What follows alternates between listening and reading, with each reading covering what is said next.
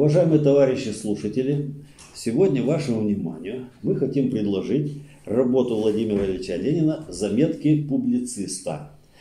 Э, почему именно эту работу? Потому что эта работа, как и целый ряд других работ, они, она э, важна тем, что она обосновывает мысль, высказанную Владимиром Ильичем Лениным в одной из своих работ, что борьба с империализмом, если она не связана непосредственно борьбой с оппортунизмом, есть пустая лживая фраза.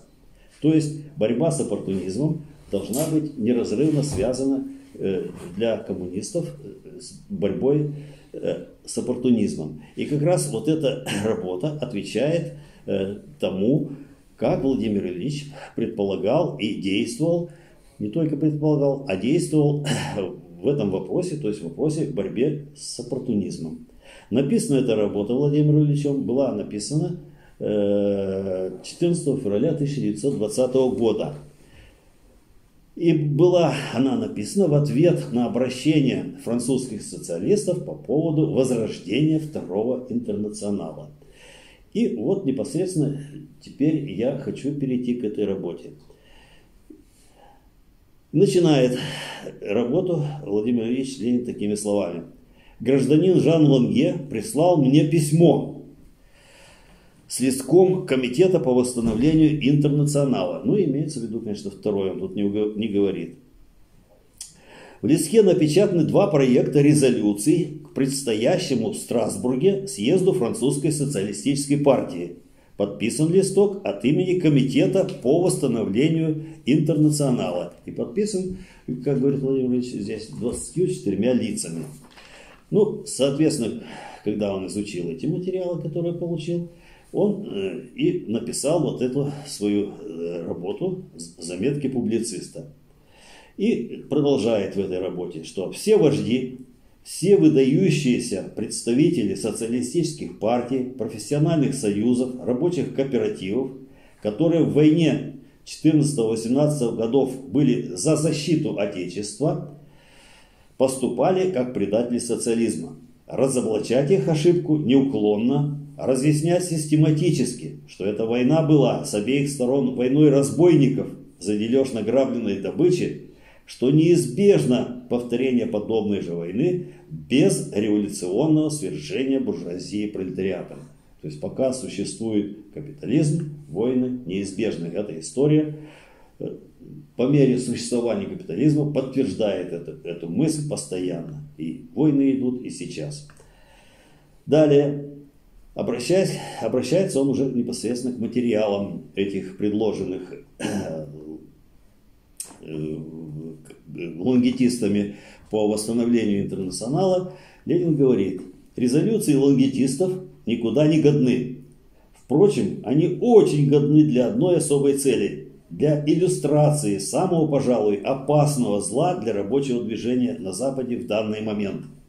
Это зло состоит в том, что старые вожди, видя неудержимое влечение масс к большевизму и к советской власти, ищут выход в словесном признании диктатуры пролетариата и советской власти, на деле оставаясь либо врагами диктатуры пролетариата, либо людьми неспособными или не желающими понять ее значение и проводить ее в жизнь.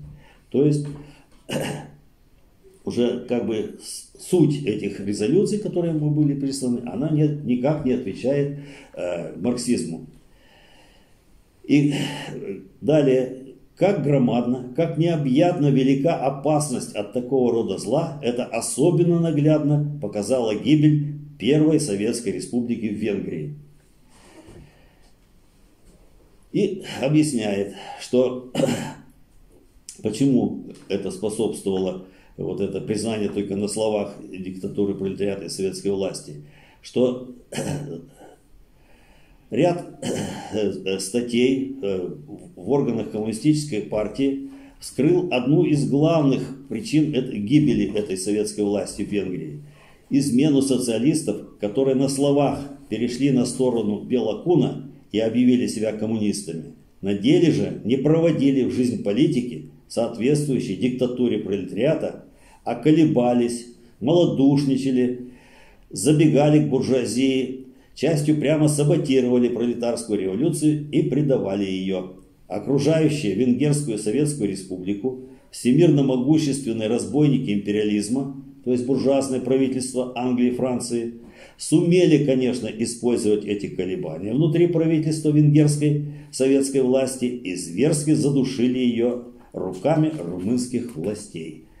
Вот к чему приводит оппортунизм на примере э, Венгерской республики, э, показал Владимир Ильич. Далее рассматривает ошибочные или оппортунистические взгляды Владимир Ильич и говорит, лонгитисты, как политическое направление, ведут сейчас именно политику венгерских социалистов и социал-демократов, погубивших советскую власть в Венгрии.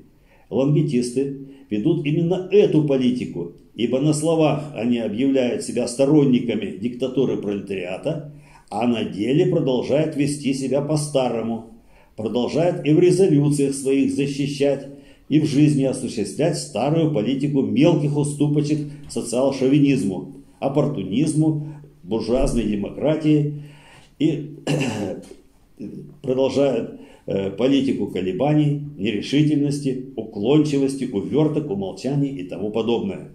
Эти мелкие уступочки, колебания, нерешительность, уклончивость, увертки и умолчания в сумме неизбежно дают измену диктатуре пролетариата. Диктатура – слово большое, жесткое, кровавое, слово, выражающее беспощадную борьбу не на жизнь, а на смерть двух классов, двух миров, двух всемирно-исторических эпох. Таких слов на ветер бросать нельзя, говорит Владимир Ильич. И продолжает, сказав такие вот что, жестокие слова, что ставить на очередь дня осуществление диктатуры пролетариата и в то же время бояться обидеть рыцарей подлейшего э, социал-шовинизма, это значит осуществлять предательство рабочего класса по легкомыслию, по недостатку сознательности, по бесхарактерности или по другим причинам. Но во всяком случае это значит осуществлять предательство рабочего класса. Расхождение между словом и делом погубило второй интернационал.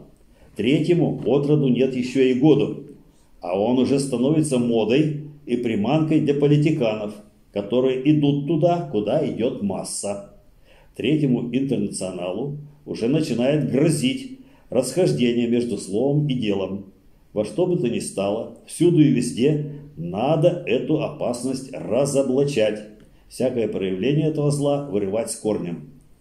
Резолюции лонгитистов, то есть то, что они прислали, превращают диктатуру пролетариата в такую же икону, какой бывали резолюции Второго Интернационала. На икону надо помолиться, перед иконой можно перекреститься, иконе надо поклониться, но икона нисколько не меняет практической жизни, практической политики. Нет, господа, мы не допустим превращения лозунга диктатура пролетариата в икону. Мы не помиримся с тем, чтобы Третий Интернационал терпел расхождение между словом и делом. Если вы за диктатуру пролетариата, тогда не ведите той уклончивой, половинчатой, соглашательской политики по отношению к социал-шовинизму, которую вы ведете. И продолжает так. Если признавать диктатуру пролетариата, если рядом с этим говорить о войне 14-18 годов, то надо говорить иначе. Война это была войной разбойников англо-французского империализма с разбойниками германо-австрийского империализма из-за дележа добычи, колоний, сфер влияния и так далее. Проповедь защиты Отечества в такой войне была изменой социализму. Если не разъяснять этой истины до конца, если не искоренить из голов, из сердец, из политики рабочих этой измены, нельзя спастись от бедствий капитализма, нельзя спастись от новых войн, которые неизбежны, пока держится капитализм. То есть несмотря на то, что диктатура пролетариата, конечно, связана с, с, с войной против буржуазии, но жертвы, которые могут быть принесены на алтарь борьбы за диктатуру пролетариата, будут значительно меньше, как говорит Владимир Ильич, тем, чем те жертвы, которые будут принесены империалистическими войнами. И поэтому он продолжает, что лонгетисты не поняли и не желают понять, а частью не способны понять, что реформизм, прикрытый революционной фразой, был главным злом Второго интернационала, главной причиной его позорного краха, поддержки социалистами той войны, в которой перебили 10 миллионов человек для решения великого вопроса, англо-французская или германская группа хищников-капиталистов должна была грабить весь мир. Лангетисты остались на деле прежними реформистами, прикрывающими свой реформизм революционной фразой и только в качестве революционной фразы употребляющими новое словечко «диктатура пролетариата». То есть только на словах признают диктатуру пролетариата оппортунисты в лице именно вот этих лонгитистов, которые пытались возродить второй интернационал. Ну и далее Владимир Ильич развивает такую мысль, что признать диктатуру пролетариата – это не значит во что бы то ни стало в любой момент идти на штурм на восстание. Это вздор. Для успешного восстания нужна длительная, умелая, упорная, великих жертв стоящая подготовка. Признать диктатуру пролетариата – это значит решительный, беспощадный и, главное, вполне сознательный, вполне последовательно проведенный в жизнь разрыв с оппортунизмом, с реформизмом, половинчатостью, уклончивостью второго интернационала. Разрыв с вождями, которые не могут не продолжать старой традиции, со старыми, не по возрасту, а по приемам парламентариями, с чиновниками профсоюзов, кооператив и тому подобное. С ними надо рвать. Их преступно жалеть. Это значит предавать из-за мизерных интересов 10 или 100 тысяч коренные интересы десятков миллионов рабочих и мелких крестьян. Признать диктатуру пролетариата – это значит коренным образом переделать повседневную работу партии, спуститься вниз к тем миллионам рабочих, батраков и мелких крестьян, которых нельзя спасти от бедствий капитализма и войн без советов, без свержения буржуазии. Разъяснять это конкретно, просто, ясно для массы, для десятков миллионов, им говорить, что их советы должны взять всю власть, их авангард, партия революционного пролетариата, должна руководить борьбой. Вот что такое диктатура пролетариата. У лонгетистов нет и следа понимания этой истины, нет ни капли желания и способности проводить ее ежедневно в жизни. Вот э, на этом я хочу остановиться. Я взял только выдержки, которые, ну, важнейшие выдержки из этих заметок, которые полезны для нас сегодня. Если хотите более подробно кто-то ознакомиться, возьмите работу сами, прочитайте ее полностью. На этом я хочу остановиться. Ну, пожалуйста, какие возникли вопросы, может что-то нужно обсудить из того, что э, я огласил вам. Давайте, пока в чатике вопросов нету, я вопросики Давай. задаваю, я Давай. это дело, вас помучить. Давай. А, смотрите, вот хорошо, мы говорим о диктатуре пролетариата, которую многие поддерживают только на словах. Да. Ну, это оппортунисты, да. Да, и, собственно, том вся работа в этом выдержана. Не просто оппортунисты, есть те, кто, допустим, вот э, по поводу Венгерской социалистической республики, Ну да. история. Ну, тут он кратко коснулся, Да, да. да. А, Собственно, э, чем, допустим, большевики отличались от остальной партии? Да? Любой человек, который не просто разделяет их программу устав, он еще должен работать партийных органах и обязательно заниматься деятельностью. Ну и, соответственно, если партия диктатуру пролетариата признает, и, собственно, те, кто разделяет это мнение, обязательно должны этому следовать. Так. Ибо иначе их выгоняют. Так может быть из, э, так сказать, э, интернационала надо выгонять всех тех, которые, так сказать, разделяют диктатуру, но при этом ничего не делают, ибо они не обязаны А делать работу. Их, и- таких и не приняли в интернационал. Таких и не приняли, потому что мы с вами, помните, говорили на предыдущем занятии, что было принято 20 условий, которые предлагал Владимир Ильич вот, э, для приема уже на втором конгрессе. Вот э, где-то вот в феврале эти заметки были написаны, да, а в июле уже состоялся второй конгресс, и там эти условия были приняты всеми участниками второго конгресса, и ни, никакие оппортунистические или, или там независимые социал-демократы, так, не выполняющие этих условий, не были приняты в Третий интернационал. Не, ну, тогда понятно. Я к тому, что вот сегодня, когда пытаются тоже какие-то... А сегодня? Да, да, соединяться какие-то вместе партии под едиными лозунгами, так, ну, назовем новый интернационал, да, собираться, вот этот вопрос как-то вроде от всех требуют диктатуру пролетариата признавать, но чтобы, чтобы, ну, чтобы да. все еще, так сказать, двигались в этом направлении, этого ну, это нет. Лозунг есть, а фактически работа, обязанности. Значит, в чем суть вопроса, что надо ли объединяться и партиям или, нет, или нет, что? Не, не стоит ли расширить, э, так сказать, требования для организации вхождения в интернационал? Не просто, а чтобы а, разделять те, диктатуру. То есть те 22 пункта, еще... которые были приняты, они сейчас не подходят, да? Нет, подходят, еще так. чтобы добавить. А, что-то добавить? Да. Ну, если и, есть что добавить. Почему? идет. Нет, ну если есть что добавить, кто против? Если они будут соответствовать коренным интересам рабочего класса, будут соответствовать марксизму, но почему бы не добавить? Да, ну, потому ну, что развитие науки идет, наука развивается, видимо, возможно, что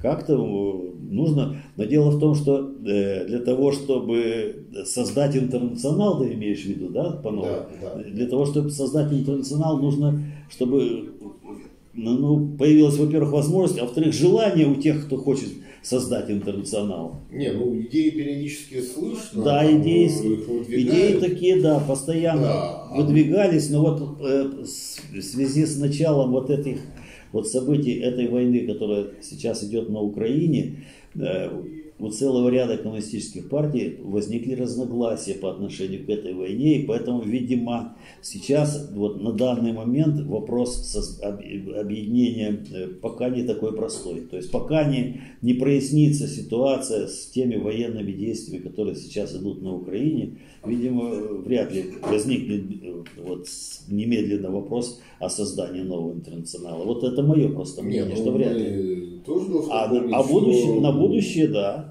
Но ну, я... На, на Первую мировую, на Второй интернационал тоже как раз развалился. Да, да. В связи с началом войны. Ну, правильно. А потом очень-очень быстро начали собираться уже в время.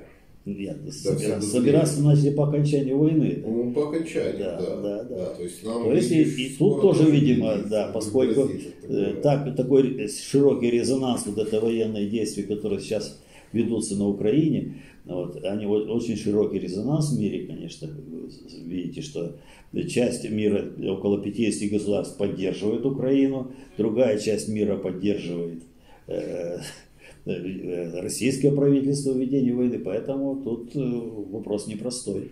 Не просто поддерживают, там еще активно вводят ну, технику, вся, ну, людей. Ну, ну, ну понятно. И потихоньку понятно, кто как может, тот так и поддерживает. Да, да, мировой, да, да, да, да. конфликт. Да, есть опасность, что этот то, что э, происходит сейчас на, на Украине, может при, привести к мировому конфликту. Такая опасность есть. Ну так вот у нас самое время сесть и разработать Нет. требования. Ради бога, кто препятствует. Если есть какие-то предложения, Нет, пожалуйста. Потому что задача очень актуальна. Задача Над была. этим надо не просто думать, а надо уже браться и начинать делать, обсуждать. Пожалуйста, никто не препятствует. Вот эти. Давайте предложения. Что третий интернационал не закрыт, а поставлен на паузу. Но дело в том, что было принято решение в 1943 году, что распустить его, поэтому сейчас уже так нельзя говорить что он поставлен на паузу. Учитывая, да, что там у Троцкого был свой интернационал, придется совершенно новый придумывать. Да. Просто сейчас КПРФ взялась за разработку нового трудового кодекса. Да, ну я же написал там в, это, в вашем сайте, что это, это просто будет издевательство со, над, этим, над этим разработкой со стороны всякой этой Единой России и прочей буржуазии. Никто же не пропустит. Не пропустит ну, да. конечно, просто поиздеваются, да и все посмеются. Может, да. пора, опять же, не трудовой кодекс да. новый писать. Конечно. Надо идти, вон, их там сколько дармоедов сидит в думах Идти вам на предприятие, рассказывать рабочим, э, что они из себя представляют и какое отношение э, их производству и к тому, что происходит в стране. Вот чем надо заниматься. На предприятиях людям разъяснять, а не сидеть там балдеть в этой доме. Вот я так считаю. В этом тогда плане следующий. Абсолютно верно говорите. Следующий вопрос по поводу работы, да, вот там Владимир Ильич говорит о диктатуре. Но. Ну вот смотрите, у нас и что получается? Буржуазия, одна эксплуатирует Ну, у нее сейчас, сейчас ее диктатура. Сейчас ее диктатура, да. ну, У нее сейчас диктатура ее. получается сама собой. Нет, есть не сама собой. У нее, Да. у нее очень здорово все получается. У него сколько институтов Не, для они- осуществления этой диктатуры организовано. Он кажется, со, со стороны, э, так сказать, буржуазии, да, в частности капиталиста, Да. он хочет увеличить себе прибыль, он естественно, своих не, не просто хочет, а он хочет получать максимальную прибыль. Это Да. основа Ну, э, можно тогда еще жи- деятельности. вынужден получать ее, иначе его сожрут да. конкуренты. Так точно. Это основа деятельности буржуазии. Вопрос Получение максимальной прибыли, да. То есть у капиталиста получается как бы самим, самим собой, что он эксплуатирует рабочих и тем самым свою диктатуру отстаивает. Ну, Если кто-то вдруг э, взял там, сказал, типа, я не хочу э, идти на ваших условиях, капиталист взял его и уволил. Ну, так, Там все просто. ну да. А теперь с другой стороны, смотрите, а вот когда диктатура у нас э, пролетариата настает, Ну, так. э, рабочий же не будет эксплуатировать э, капиталиста. Более того, капиталистов не становится. Ну, и- собственно, ну и что? а О чем Владимир Ильич, по-моему, и говорит, что при наступлении социализма очень тяжело продолжать выступать за диктатуру пролетариата, ибо некого больше Нет. Так диктатура пролетариата заключается не только э, в подавлении сопротивления буржуазии. Это ж не только... Так вот ее подавили, все, все расслабились. И вы, ну, Но- Погодите, ну Советским Союзом у нас точно Ну так. есть наука, сказали, что подожди, все- Александр, ну есть наука, которая называется марксизм. И она рассказывает, в чем заключается диктатура пролетариата. Не только в подавлении буржуазии. У нее очень много функций. Ну, и особенно экономические функции очень сложные. Не столько политические. Вот. Поэтому нельзя так говорить, что все подавили буржуазии, диктатура пролетариата больше не нужна. Был такой Никита Хрущев, да, он поразвлекался, ну и к чему это привело?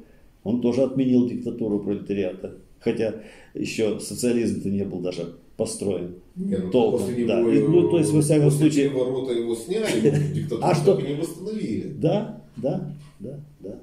Так в чем сложность, что в условиях отсутствия класса капиталистов Так, ну и- диктатура пролетариата... Он не отсутствовал, он присутствовал. Он, во-первых, э, э, значит, э, если какой-то определенный промежуток времени в нашей стране отсутствовал, то он присутствовал во м- большинстве других стран. Он присутствовал. Это, во-первых, капитализм. А во-вторых, как только отменили диктатуру пролетариата, буржуазия стала возрождаться и в нашей стране. И она все-таки пришла к власти вот в конце прошлого века. В начале А тогда 90-х годов смотрите. пришла к власти. Возвращаясь к Хрущеву, да, он вроде на словах отменил диктатуру пролетариата, Но дело в том, что он- общенародное государство, а сам-то при этом активно начал колхозные рынки втаптывать. Да не только и- там, там все, там, значит, от- от- Артель было очень- очень серьезное отступление. Это надо из, э, в двух словах не скажешь. Там очень серьезные были отступления от марксизма, от, э, от научного построения социализма. Очень серьезные, в том числе экономические, не только политические.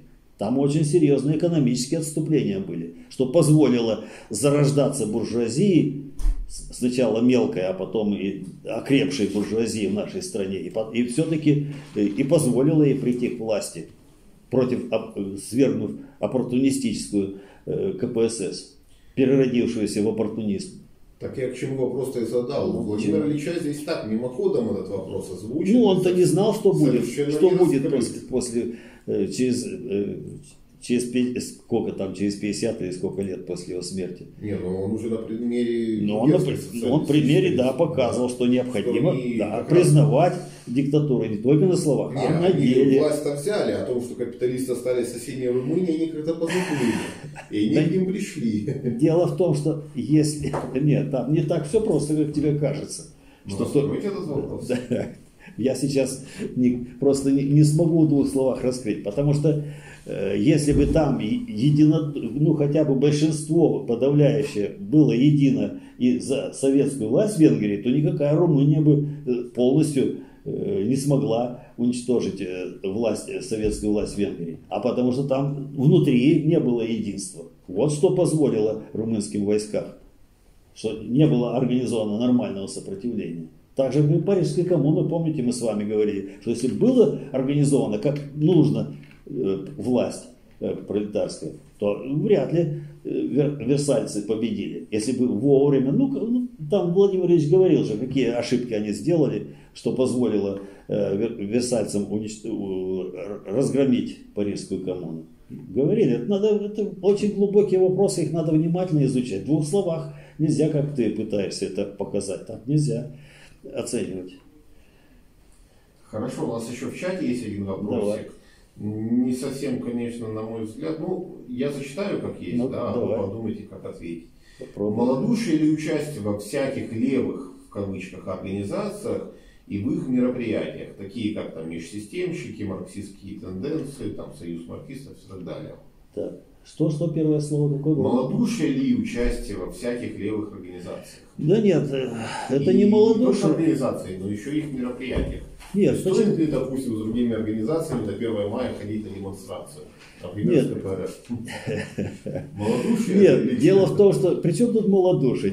Дело не в малодушии. Дело в том, ну, что... Нет, я понимаю, что такое... Я теперь хочу ответить на этот вопрос. Э, значит, поэтому здесь надо рассматривать не, не малодушие, а дело в том, что э, что представляет собой тот, кто собирается в чем-то участвовать. Вот, что он из себя представляет. Он э, осознал действительно, что марксизм, в чем суть марксизма и что нужно сделать, чтобы установить справедливую власть, чтобы не было эксплуататоров, вот, которые бы наживались за счет чужого труда.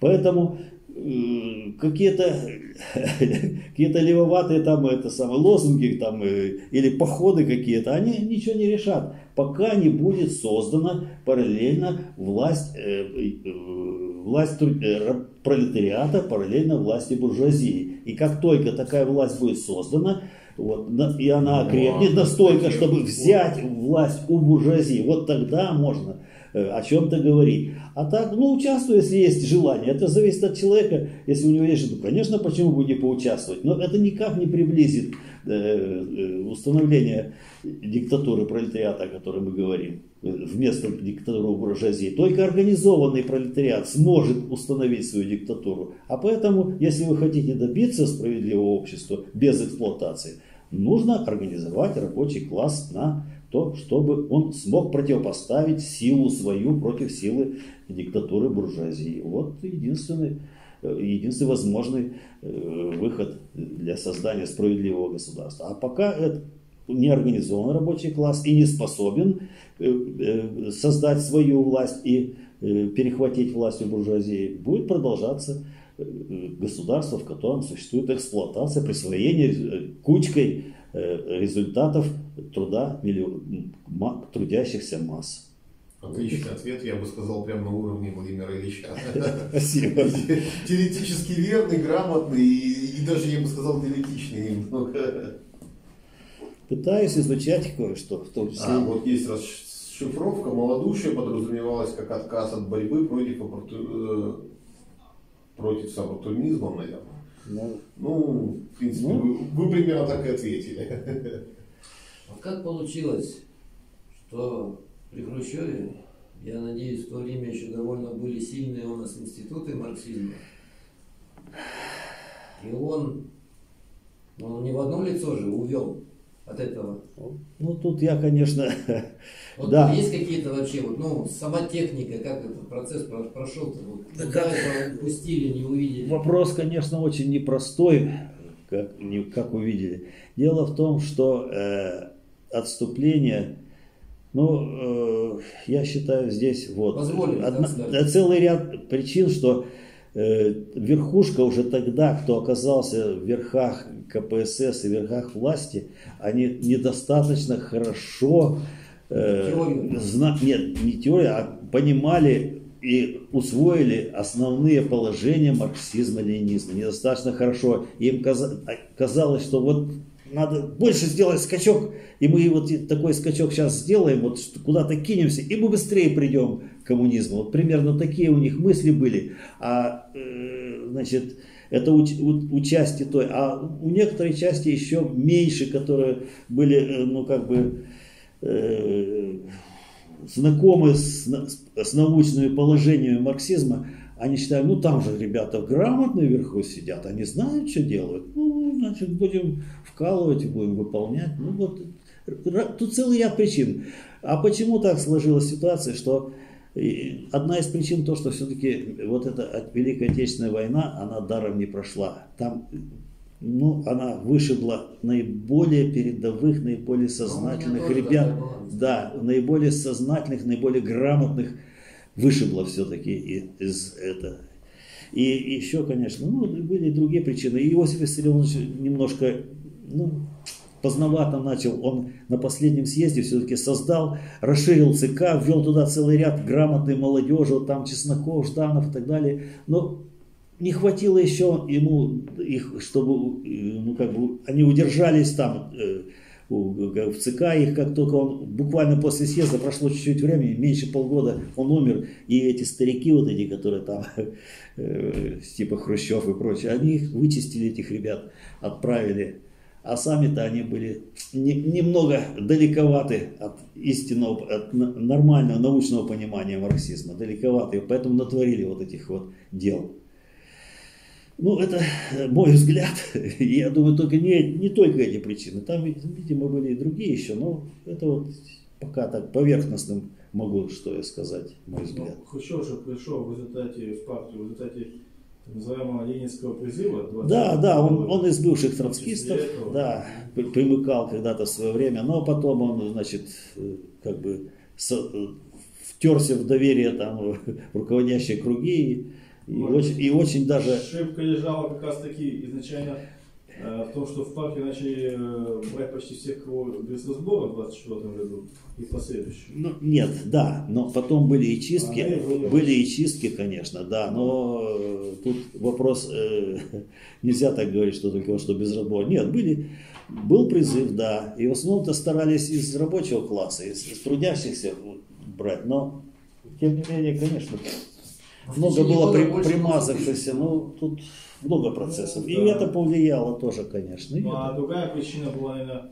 э, то, что все-таки люди вступали в партию не потому, что они были коммунисты, а потому что раздалась такая ситуация, что если ты не в партии, ну, ты не получишь... И, и, кар, и карьеристы присутствовали, да, и такое присутствовало. Что конечно, конечно. Не этим всем. И, то есть и, и чистки не всегда э, помогали, иногда, Дело в том, что в этих чистках-то вот э, участвовали не всегда добросовестные сами те, кто чистил. Да. Вот. И это присутствовало. Ведь окопавшиеся троцкисты и буржуи, они в многих структурах э, были... Э, ну, тут очень много можно рассуждать.